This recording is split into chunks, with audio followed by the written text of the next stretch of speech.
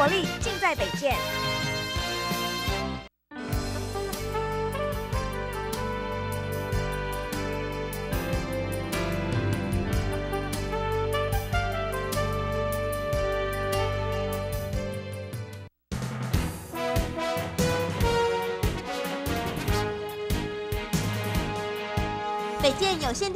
长期配合受雇员工薪资调查，由于资料详实，荣获行政院主计总处肯定，县府颁发绩优讲座。而北京也期望透过所提供的资料，让政府对产业有更清楚的认识。由全国各地脊髓损伤精英组成的大力水手车队，于九日到二十日进行轮椅铁马圣火环岛活动，还邀请拉米狗职棒球员许明杰和林家伟担任圣火传递大使。有轻度智能障碍的小婷，在老师一直不断的鼓励下，第一次参加丙级烘焙检定考就顺利通过测验。透过镜头带大家来看看小婷的努力过程。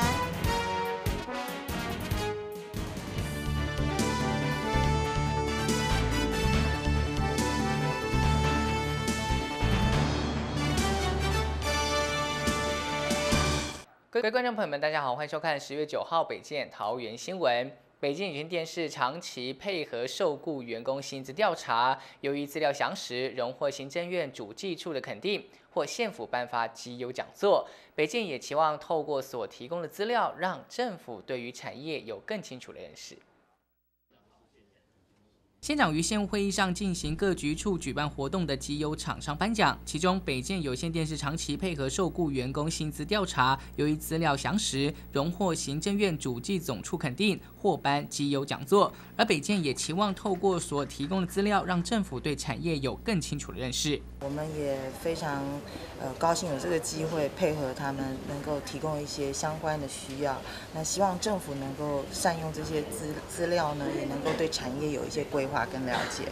主力处总共调查十七大行业，有上千家厂商参与调查。而这样子的薪资调查，主要也是要了解各行业的工时、薪资以及员工流动率，让政府在制定劳工政策上有所帮助。员工薪资调查呢，最主要是说能够帮我们国家呢建立那么了解整个那个企业各个行业的一个员工的工时，还有他的薪资以及那个员工的进进出出的一个情况。所以，对我们将来国家要制定一些劳工的政策，或者制定一些什么薪资率的话，都有非常非常帮助。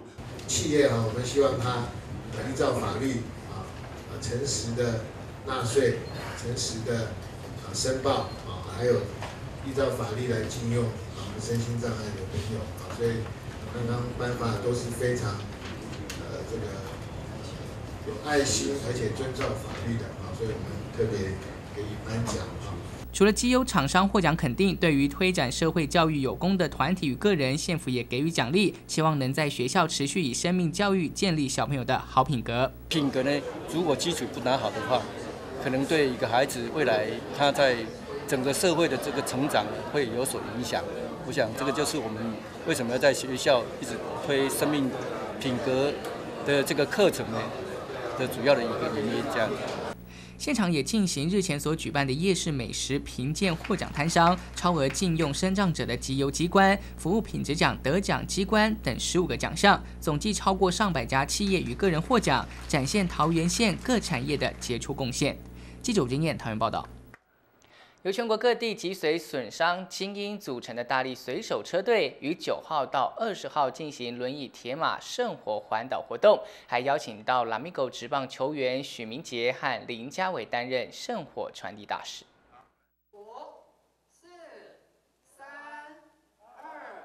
由全国各地脊髓损伤精英组成的大力水手车队，于县府广场举行轮椅铁马圣火环岛起跑记者会，车友们个个精神抖擞，已为环岛做好充分准备。现场还邀请到拉米狗职棒球员许明杰和林家伟担任圣火传递大使，率领环岛车队从县府出发。我们十五届的呃轮椅运动会啊，即将在呃本月的呃二十号、二十一号举行。那我们今天呢，就是先行的做啊环岛的圣火传递。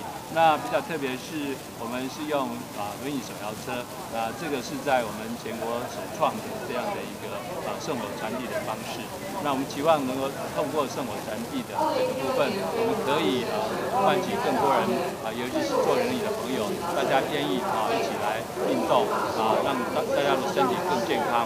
啊呃，这个是我们这一次活动最大的意义。轮椅铁马圣火环岛车队包含十一辆轮椅铁马和十辆升降子母机车及随行的志工，而这次环岛所使用的轮椅铁马为国内首度开发组装式轮椅自行车，轮椅使用者可以直接以轮椅和自行车头衔接，对于脊髓损伤者而言非常便利。参加这个活动，第一个哦要挑战自己，第二个要让我们这些身心障碍朋友知道有这么好的运动，哦可以来做从事，另外让我们这边社会大众知道。身心障碍者很需要一个无障碍的环境，让大家能够共同来做完整这些全全民的运动这样子。前很不方便，因为以前没有这个共这个手摇车的器具，那现在有做了这个手摇汽车器具，我们在环岛会更方便，我那也会能够带动这样的风气。脊髓损伤潜能发展中心董事长林静心期盼透过此环岛活动，能唤起全国脊髓损伤者对生命的热情。环岛车队预计二十日上午抵达县立体育场，第十五届全国脊髓损伤者运动大会届时也将在此举行。记者谢雅玲投约报道。患有轻度智能障碍的小婷，在老师一直不断的鼓励之下，第一次参加丙级烘焙检定考就顺利通过测试。透过镜头带大家来看看小婷的努力过程。天下无难事，只怕有心人。就读清华高中综合职能科的学生小婷患有轻度智能障碍，在学校和老师的帮助下，第一次参加丙级烘焙检定考就顺利通过测验，克服了特殊先天的弱势，不断的努力反复练习，证明自己。他们都很努力，他们花很多心思在背诵这些学科还有计算方面。那有了这次的成果，我觉得非常的骄傲。那也希望他们在未来的出路，因为综合职能班的学生的出路真的都比较有问题。那希望他因为有了这张证照，让他的出路会越来越好，越来越顺遂。熟练的替面包涂上蛋液，接着送进烤箱，设定温度。学生依照烘焙流程，谨慎的处理每一个步骤。这看似流畅的烘焙动作，小婷可是花了整整一年的时间才驾轻就熟。有些题目都不会，都要死背，背很久。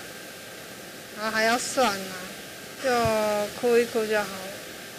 然后老师会就是讲一些称赞我们的话。看不懂题目，面包配方比率算不出来，压力大到常常让小婷觉得挫折。还好有老师一直不断的鼓励，她才能坚持下去。如果没有付出比别人更多的努力，花上比别人多好几倍的时间来练习，不会有今天这样的成绩。未来，小婷希望能开一家小店，要让最爱的家人每天都能吃到最美味的面包。记者张荣甫新屋报道。今年七八月发票，全国总共是开出了九张千万大奖，桃园就开出了三张，分别是从百货公司、便利商店以及医院的停车场来开出。北区国税局桃园县分局是特别前往商家进行祝贺，顺便也宣导民众多多使用电子统一发票。响彻云霄的鞭炮声，道出桃园的喜讯。今年七八月发票，全国共开出九张千万大奖，桃园就开出了三张，分别是从百货公司、便利商店以及医院的停车场开出。北区国税局桃园县分局特别前往商家进行祝贺，顺便宣导民众多使用电子发票。七八月的统一发票总共全国开出九张，那但是我们桃园县总共就开出了三张。那那其中一张呢，也是在这附近哦，这是在中华路的一个 Seven Eleven 店哦，十八块的矿泉水哦。那另外一个是长庚医院的那个停车费三十块钱。那再来就是我们新呃，就是百货公司唯一的九张里面是百货公司开出来，就是我们我们新呃这个百货公司哦。那所以很开心哦。那希望大家多消费的时候，不要忘记索取统一发票。国税局表示，现在电子统一发票的载具相当多元，连手机都可以装载电子统一发票，只要上国税局网站下载条码，轻轻松松就搞定了。手机条码是你到了电子发票云端或多媒体服务区。申请取得手机条码。那结账的时候，你只要取出你的手机条码就可以，就不需要索取那个统一发票，可以节人，可以可以节省那个结缘，呃，节省纸张哈。然后到时候如果你中了统一发票之后，我们会主动的通知你。所以，请鼓励大家能够多多多使用载具的手机条码来跟我们申请。国税局鼓励民众多使用电子统一发票，并开发多元的电子统一发票载具，节能又环保，且民众不用花时间进行兑奖。这次的中奖也是国税局主动通知，借此行动让民众了解电子统一发票的便利性。记者吴建燕团员报道。新屋乡九斗村的长祥宫又称为五谷先帝庙。长祥宫供奉一尊神农大帝塑像，其塑像全身是由青铜打造，号称是台湾最大的神农大帝神像。今天走读历史单元，就带您来看看新屋乡长祥宫。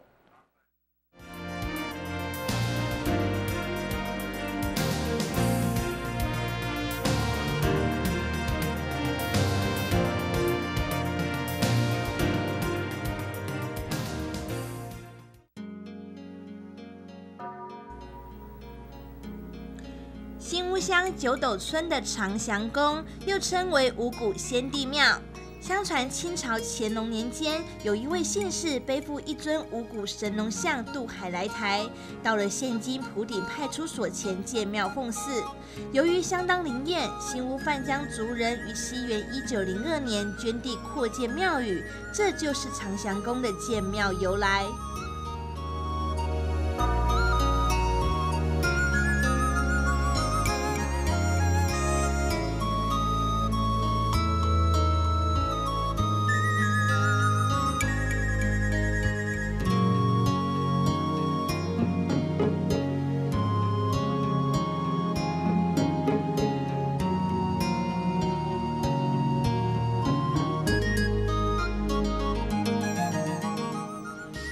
祥宫正殿供奉五谷神农大帝、祝生娘娘、天上圣母娘娘、关圣帝君等，而庙旁手持稻穗稳如泰山的神农大帝塑像，塑像全身由金铜打造，号称是台湾最大的神农大帝神像。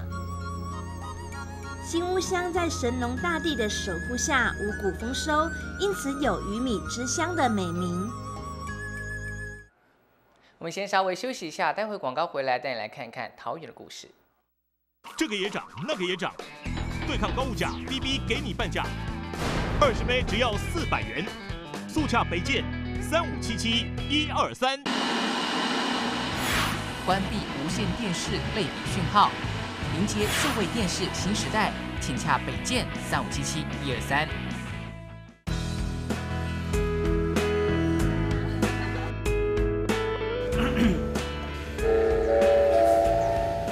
村里办公室报告，村里办公室报告。啊？什么代志？啊？什么？啊？什么？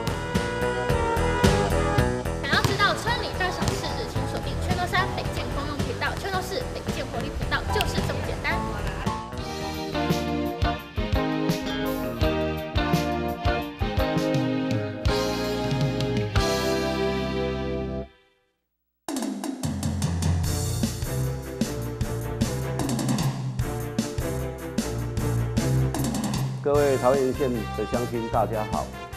让桃园在一百零三年底升格为直辖市，是目前全县的一次目标。桃园县议会与全体议员更会尽最大的努力，为全体县民的福祉以全力来把关。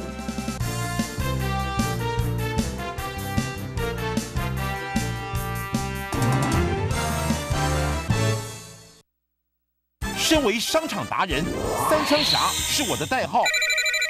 先生，您的先生，您是诈骗集团人头户。先生，请您提领账户存款。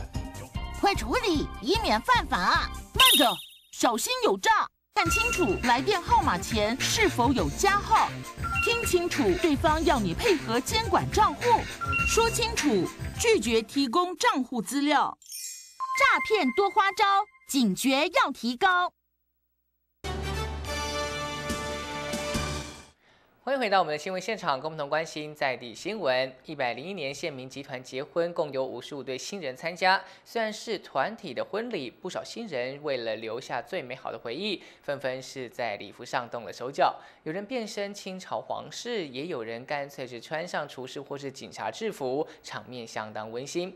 而担任证婚人的县长吴志阳也期许新人们秉持家和万事兴的理念，共同营造爱与祥和的社会。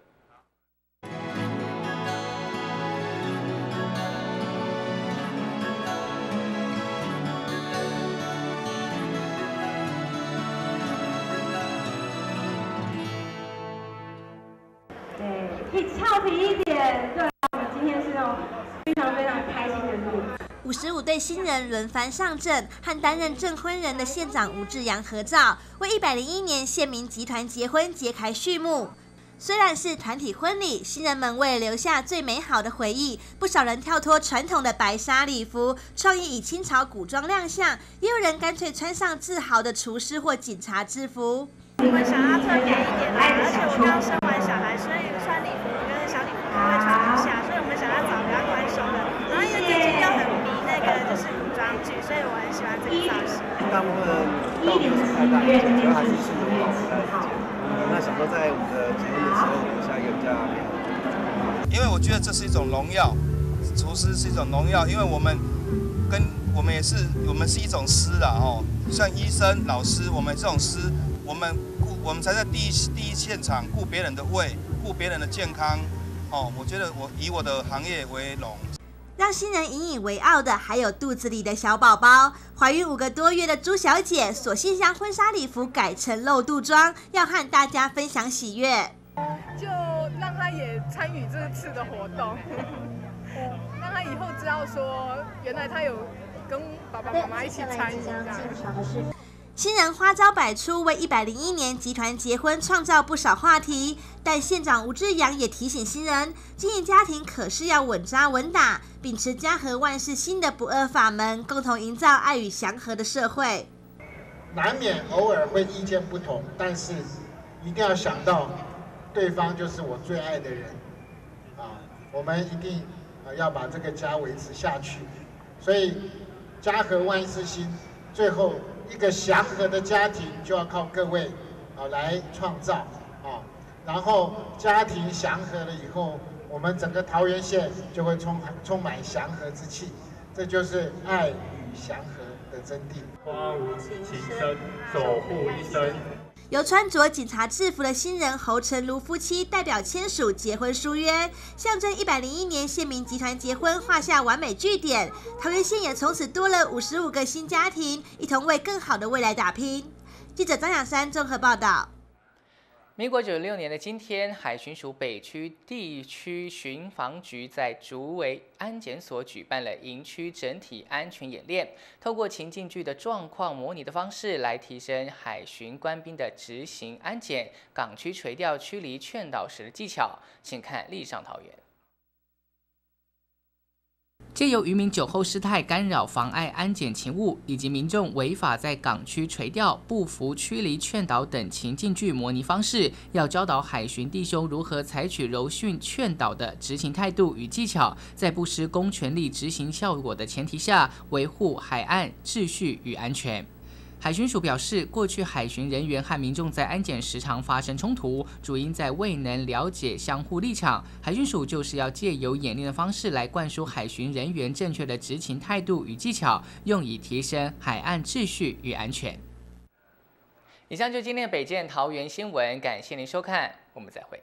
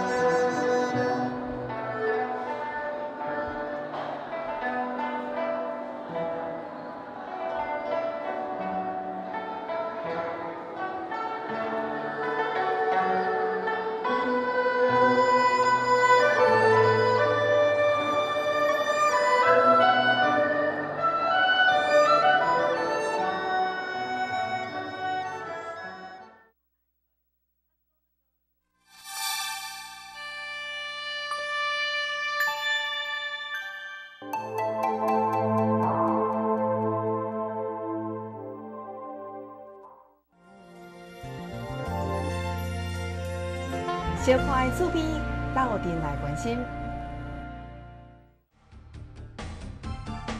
北建桃园新闻首播时间为周一到周五晚间六点，重播时间为当日晚间八点、十一点，隔天上午九点、十一点、下午两点。敬请锁定北建活力频道。北建桃园新闻推出全新单元《桃园的故事》，网罗在地人文、农渔产业以及社会关怀。敬请锁定每周一至五晚间六点，全都四北建活力频道。北建有线电视特别规划 CH 三收看时段，提供一般民众、社团及大专院校学生申请使用。欢迎您提出申请播放自制创意影片或生活记录影像。相关活动讯息，请上北建官网或洽询专线三五六一零零零转一三零二。今年度北建将持续给您优良的收视品质。桃园县政府一百年度有线电视满意度调查，北京有线电视连续两年获得收视讯号稳定，有线电视业整体评价满意的肯定。感谢桃园乡亲的支持，北京有线电视将更努力给您最好的服务。只要你敢秀，我就敢播。北建公共频道主。北京免费提供摄影棚以及影片剪辑服务，影片剪辑完成后将于全龙三北建公用频道播放，欢迎民众团体踊跃提出申请，魅力展现就在全龙三北建公用频道。